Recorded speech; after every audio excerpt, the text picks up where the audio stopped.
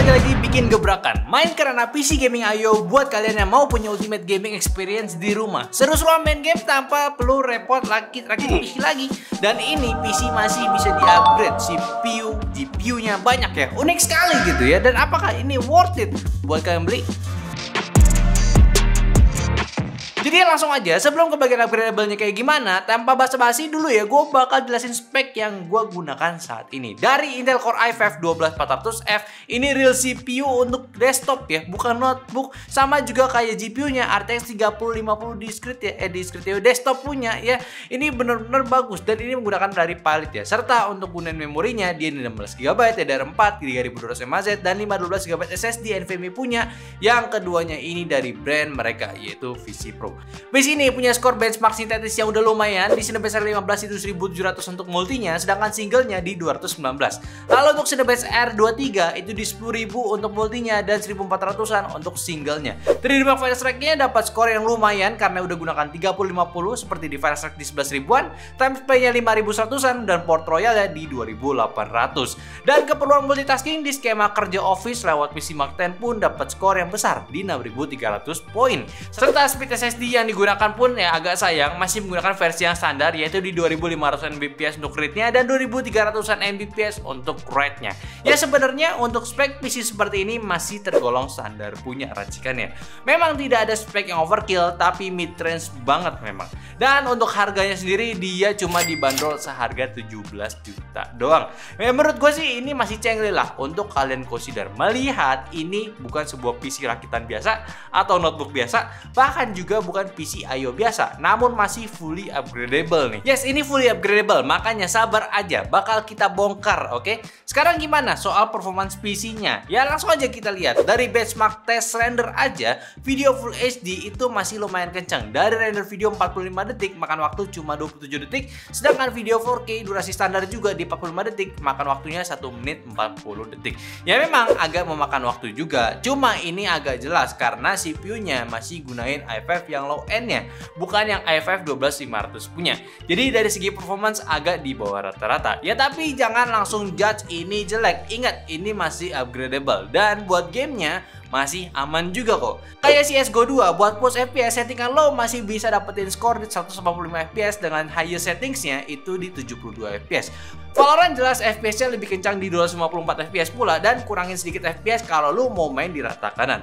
Dota 2 pun di latest versionnya masih bisa dapetin di atas 110-an FPS.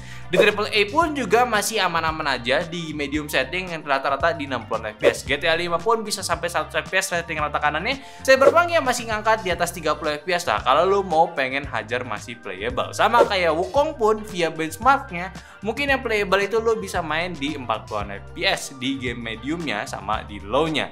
Jadi sih ini masih menarik lah buat lo yang memang mau gas dan ingat semua pengetesan ini pun di resolusi 2.5K ya. Ikutin monitor bawaannya dan lo masih bisa pakai settingan full HD dan matiin ray tracingnya buat dapetin FPS yang lebih smooth. Ya dong, masa apa-apa harus spek rata kanan gitu ya? Nggak semua gitu. Kadang kita harus sadar diri sama kemampuan diri sendiri gitu. Ya soalnya kalau punya duit lebih, lo bisa atur lagi konfigurasi PC IO ini gunain i7 dan 4060 dengan RAM 30GB dan storage-nya 1TB di harga 24 juta. Sedangkan yang ini cuma 17 juta doang. Atau kalau lo mau starting dari yang paling rendah dan mau upgrade sendirinya nanti, lo bisa upgrade apun mas gua mas, bisa dapetin di i3 dengan GPU GTX 1650 di harga 14 juta aja. Sebenarnya agak sayang juga sih menurut gua, sangat-sangat nanggung gitu. Tapi buat PC IO-nya sendiri juga udah menarik. Dari ukuran komputernya berbentuk layar ini memiliki dimensi di 27 inci dengan panel IPS 2K. Di kapasitas refresh rate di 180 Hz serta akurasi warnanya di 97% sRGB, 75% Adobe RGB dan juga 78% P3-nya. Not bad kan? Dan tingkat brightness sendiri defaultnya itu di 240 nits punya. Secara penggunaan udah enak banget, luas karena 27 inci itu udah cukup sweet spot banget buat gunain apalagi di resolusi 2.5K juga. Tapi sayangnya untuk layar ini masih belum ada on-screen display setting atau pengaturan brightness-nya. Jadi memang untuk monitornya akan begini-begini aja. Untungnya di settingan defaultnya itu punya tingkat brightness yang pas aja. Lalu untuk di paketannya pun juga sudah include mouse sama keyboardnya wireless punya, jadi memang tinggal pakai aja. Nggak ada biaya tambahan, tinggal pakai gitu. Dan untuk PC IO ini juga udah punya port yang sangat komplit. Pertama, dari sisi kanan, ekspansi portnya ada dua USB A, satu USB-C, serta ada audio jack combo juga. Di sebelah kirinya ada port power sama tombol LED di belakang buat stand ini. Di sisi bawah bagian kanannya ada 4 USB A port, audio in dan out sama Ethernet port.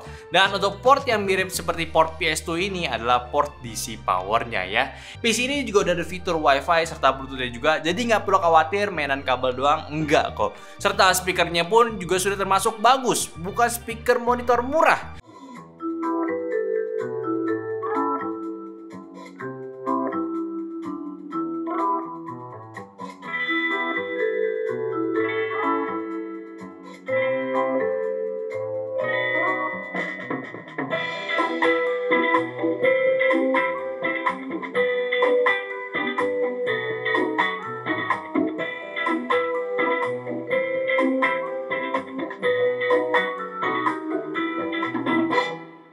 So yang bikin menarik dari PCIO ini tuh ya dari sistem yang ada di dalamnya. Kalau kita buka secara lepas stand monitor PC dan juga dua baut yang ada di bawahnya, itu kalian bisa langsung lihat sisi dalam PC-nya yang sebenarnya ini tuh komponen PC standar yang masih bisa di-upgradable. Secara dari anatomi dalamnya pun kalian harus sih masih sangat familiar. Ada CPU di bawah heatsinknya, RAM modul yang bisa di-upgrade cuma ini SODIMM, terus SSD-nya juga ada di bawah tulangan besinya, serta GPU yang bisa di-upgrade ini semua kalian bisa sesuaikan lagi kalau misalkan nanti punya duit mau ngupgrade. Bahkan masih ada satu slot tambahan lagi buat gunain SSD SATA cuy. Motherboardnya sendiri dia gunain motherboard dengan chipset B660. Memang entry punya tapi sesuai dengan bentuk chassis seperti ini. Dan buat GPU-nya pun kalian bisa upgrade hingga bentukan 2 GPU fan, ya, GPU dual fan maksud gua pada umumnya ya kalau montoknya itu sama GPU apa ya setidaknya 4060 masih oke. Okay. masih ada yang dua fan ya. Kalau 4080 4090 kayaknya ya agak repot gitu dari yang kecil. Kayaknya sih nggak ada juga. Plus dia juga ada power pin tambahan juga untuk GPU nya ya. Buat GPU yang butuh power tambahan. Eh berarti 4090 udah nggak bisa juga tuh portnya port biasa. Sama pula kayak CPU nya dia bisa upgrade up to 14 gen Intel. So yang latest masih bisa dipasang ke PC ini. Cuma ya kalian perlu consider juga untuk heatsink fan-nya ini tuh bukan untuk CPU yang mentokin performance-nya. Jadi sih ya, kalau mau ikut referensi mereka yang tertinggi itu di i7 12700F, harusnya ya di Gen 13 dan Gen 14 pun gunain yang sekelas juga. Jangan tiba-tiba upgrade ke i9 ya. Ya sebenarnya sih karena kita belum coba aja dan belum ada yang coba juga, jadi ya gue belum bisa make sure gitu ya. Tentunya juga buat GPU-nya ini karena gunain discrete seperti PC pada umumnya, kalian pun bisa langsung menghubungkan GPU pada PCIO ini ke monitor tambahan kalian. Serta secara konvensional pun PC ini memiliki konektor DisplayPort khusus untuk terhubung ke monitornya si Axio ini. So dengan kata lain ini adalah PC rakitan standar namun isinya tuh ya dimodifikasi ke bentuk PC IO pada umumnya yang jadinya kalian tetap bisa mengganti partnya untuk sesuai kebutuhan penggunaan PC-nya. Kan kadang ada PC IO yang komponen itu seperti notebook, ada juga yang hanya beberapa part sudah disolder tidak bisa diganti, ya kurang customizable lah. Sedangkan IO Pongo Nexus ini enggak. Dan gua paham juga kenapa gak gunain komponen-komponen langsung disolder langsung. Agar aksionya ini bisa menyesuaikan kebutuhan user sesuai budget yang mereka punya. Jadi daripada mereka buat PCIO dengan beragam spek yang udah didesain langsung dari pabriknya, ya mereka bisa kasih pilihan ke tipe CPU, GPU, RAM, dan storage yang bisa disesuaikan. Karena ya, tinggal pasang aja ketika ada yang beli dengan spek tertentu. Paham nggak nih lu semua? Ya ini cukup efisiensi, tapi belum tahu pasti nih. Kalau kalian upgrade sendiri ini PCIO-nya, apakah itu akan memvoid garansinya? dan memang harus di-upgrade langsung ke service centernya kah? Ya, karena lumayan sih, karena PC Pongo Nexus ini tuh dapat garansi selama 3 tahun, lama banget ya. Ya intinya beberapa hal yang perlu kalian tahu juga, ini PCIO yang masih bisa di-upgrade. Cocok buat kalian yang main game dengan setup PC tanpa casing besar standby di sebelah sampingnya atau di bawah meja, jadi lebih irit tempat lagi. Namun stand monitornya juga sih yang menurut gua agak terlalu besar ya, yang jadinya makan tempat juga. Untungnya di fitur ini udah ada ergonomisnya yang bisa kalian sesuaikan.